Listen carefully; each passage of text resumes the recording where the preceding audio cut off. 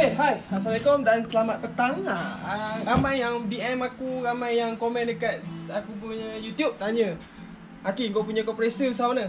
Okay, kau nampak ada dua jenis kompresor. Kalau tegak kau panggil apa ke? Horizontal eh? Hmm. Horizontal. Ya. Yeah. Kau buat bijak. Tak payah guna ayat yang nanti nampak bodoh. Okay. So, ramai yang tanya aku, aku pakai kompresor berapa horsepower? Yang ni 3 horsepower. Tak payahlah zoom. Tunjuk rapat. Okay, yang ni 3 horsepower. Yang ni pun 3 horsepower juga. Apa beza horsepower ni bro? Okay, horsepower ni duduk pada uh, piston ataupun motor eh. Uh, horsepower ni duduk pada piston. So, cara charge dia berdua ni berbeza. Berbeza apa yang berbeza dia? Yang ni satu piston. Yang ni dua piston. Okay, yang ni V system. 3 horsepower ni dia punya kecepatan charge tu sama je. Maknanya dua biji ni sama. Ke apa? Kecepatan. Ya. Ke kepantatan. Okey. Perbezaan dia ni, yang ni tank kecil. Yang ni tank besar. Walaupun dia 3 horsepower, charge, charging aku rasa cepat penuh yang ni lah sebab tank dia kecil. Yang ni charging nak penuh lambat sikit sebab dia tank dia besar 150 liter. Kalau macam ni tak silap aku 3 horsepower 7.5 uh, 40 PSI Sekejap, sekejap, sekejap Isi padu tank ni berapa lah 80 liter tak silap aku yang ni. Aku tak pasti. Tapi yang ni besar sikit daripada yang kecil sekali. Yang ni katalah 8, 80 liter. Yang ni 150 liter. Kat sini kau nampak mana yang senang buat kerja mengecat. Kerja mengecat ni dia tak perlukan horsepower uh, PSI bar yang tinggi. Dia hanya memerlukan tank yang besar untuk simpan uh, angin. Okay, kalau macam dulu kau, kau tengok video aku restore motor C70 warna grey Aku pakai ni lah. Nak habiskan satu body tu Maknanya aku pusing clearing chassis tu Makan clear Clear kita pakai angin kuat tu. Bila kita pusing satu body clear Kau tahu apa masalah yang aku hadapi? Masalah dia ialah Kompresor kau jam panas. Dia tak jam Dia mati. Sebabnya dia punya blok terlalu panas So motor uh, elektronik ni matikan uh, Supaya api tak masuk. Kalau api masuk lagi Mungkin uh, blok akan rosak. Okay so Dah ada duit lebih sikit Aku beli kompresor besar. Pakai kompresor besar ni tiada masalah langsung aku nak cat chassis besar. Okey, kalau yang tanya, Aki aku cat kulit enjin motor, aku cat barang-barang motor kecil-kecil. Okey, kalau barang kecil-kecil kulit- enjin motor ke apa semua kau boleh pakai ni. Sesuai. Comfort dah. Tapi dia bunyi dia bising sikit. Contohnya bunyi bunyi dia macam mana? Aku tunjuk jap. Bunyi yang kecil single piston ni sangat bising. Apa tak ada hidup? Kau dengar tu tak bunyi dia? Ini bunyi piston kecil.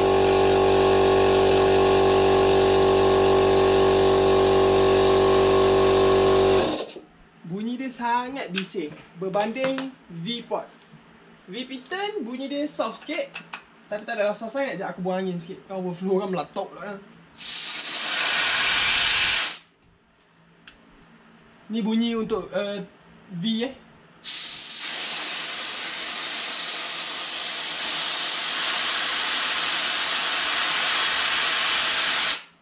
Angin dia lagi kuat lah. Sekejap, lagi aku cerita pasal bar. Ni bunyi dia. Boleh dengar. Lembut gila.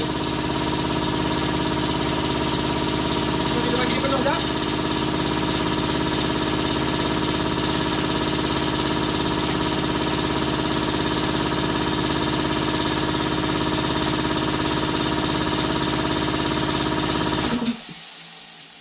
Ha, so dia dah penuh. Kita dengar balik bunyinya ni.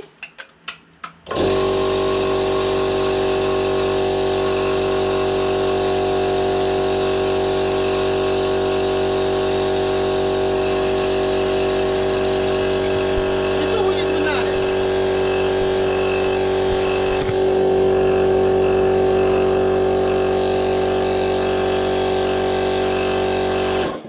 Bunyi dia sangat huru-hara eh. Uh, pada pendapat aku spare part kalau benda-benda cheap walaupun dia made in China kalau dulu kita tahu spare part untuk made in China barang dia payah nak dapat spare part betul.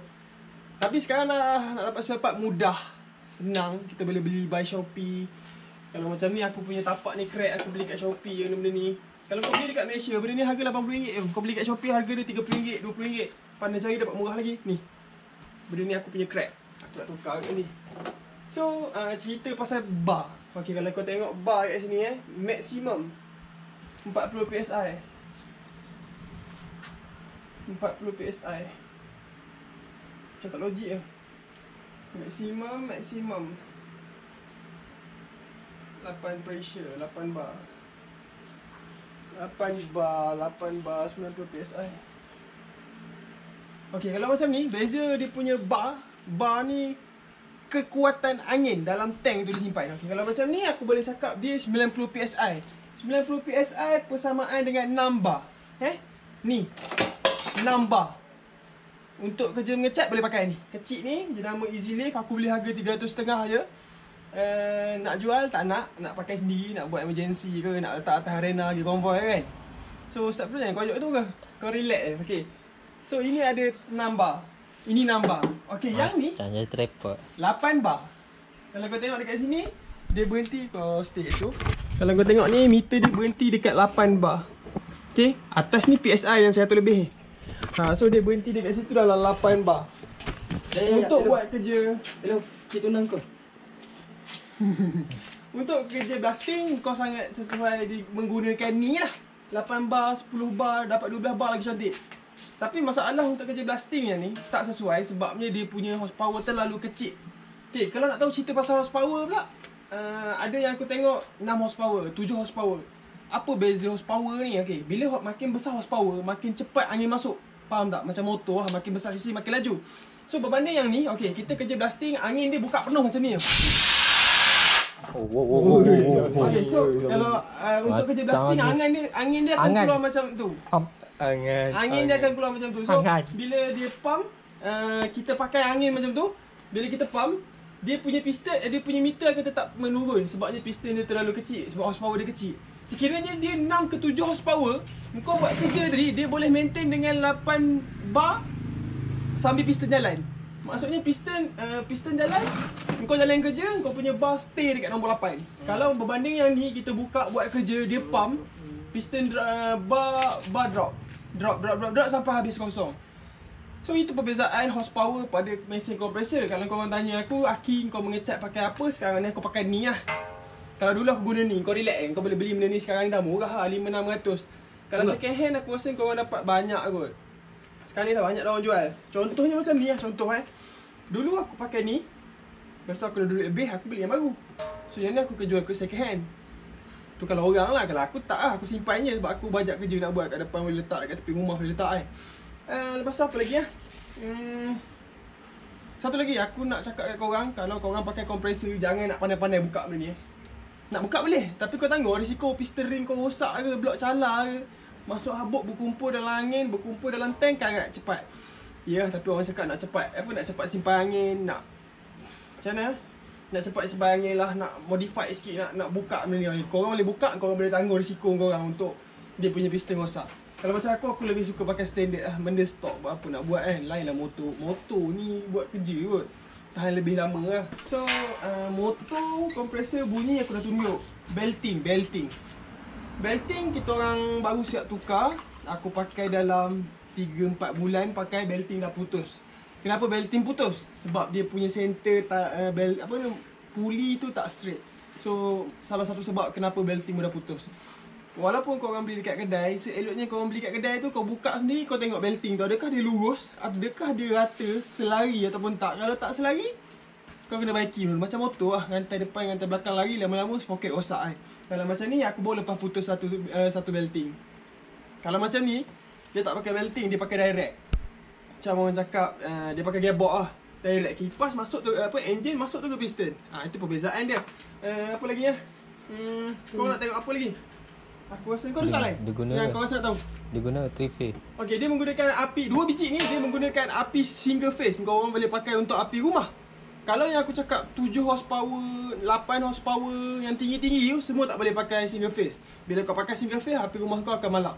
So bila nanti kau orang tanya aku kenapa aku tak beli kompresor 7 power, 7 horsepower. Kalau aku nak masuk 7 horsepower, aku kena upgrade api rumah aku dengan 3 phase. Apa itu 3 phase? Kau orang buka Google, kau orang kena tahu benda tu. Benda tu basic untuk seorang suami. Cik gitu. Ustaz Pro tahu? Untuk cik tunang. Oh, Ustaz Pro tak tahu. Ustaz Pro dia dah dia dah tunang sebenarnya, okey? Uh, lagi apa yang nak tahu? Bas, Soalan. semua video mention. Soalan. Apa keburukan dia? Apa keburukan dia? Keburukan dia apa? Apa Ya, pada pada apa? Pada mana penggunaan dia ada keburukan dia tak? Ada kebaikan, ada keburukan. Okay, kebaikan dia dia senyap. Keburukan dia uh, apa keburukan? Yalah, keburukan mesti Spare part. ada. Ha, part ada keburukan jual.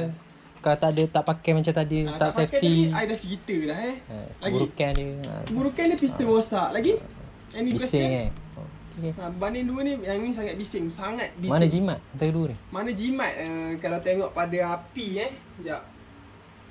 Kalau tengok pada api dia 7.5. Ah yang ni jimat sikit. Yang ni 7.5 current dia.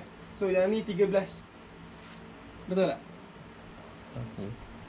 Tak nampak je. Ah betul. Yang tu 7.5 api dia, 75 7.5A. Kalau yang ni 13.5A. So dia macam times 2, hampir-hampir times 2.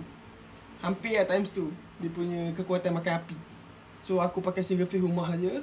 Uh, lepas tu Oh, by the way, water trap. Baru nak cat, tanya. Oh, buruk. Kita angkat-angkat lah. Sedap. Sedap. Jet, Mat. Tadi tadi aku nak tahu tak dapat. Tangan licin. Pakai kain belakang ada. Pakai kain minyak ke. Tu kain kat pintu. Kau tak lepas buka. Ha, Hmm, rasa. Tahu.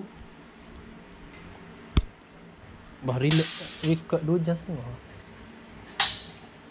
Okay, ni water trap. Uh, kalau orang kerja mengecat ke dia selalu pakai yang ni lah untuk yang biasa-biasa dia ada yang mahal lagi heater. Heater water trap. Maksudnya angin keluar daripada kompresor ni masuk dulu heater tu baru dia orang mengecat. Ah yang tu confirm tak ada air. Kalau macam ni air masih lagi ada. So ke, uh, dia duduk pada dinding, letak pada depan kompresor pun boleh. Elok letak jauh sikit daripada kompresor. Satu lagi. Aku menggunakan water trap bawah gun. Ni water trap bawah gun aku dah jual dekat Shopee aku. Cari Shopee Aki Ahmad aku dah jual yang ni. Ini water trap juga. Duduk bawah gun. Meter tak nak jual. Lepas tu aku rasa dah tak ada apa-apa lah. Aku pun dah cerita dah mengah ni. 12 minit tembak straight gila. Tak ada apa-apa soalan. Jangan pakai minyak hitam motor, pakai minyak hitam khas untuk maintenance dia. Ni pun sama. See you next. Terima kasih kerana sudi menonton. Jangan lupa like, share dan subscribe. Eh, geli lah cakap macam tu. Nanti kena bahan dengan Adi. Bye. Drop it like that.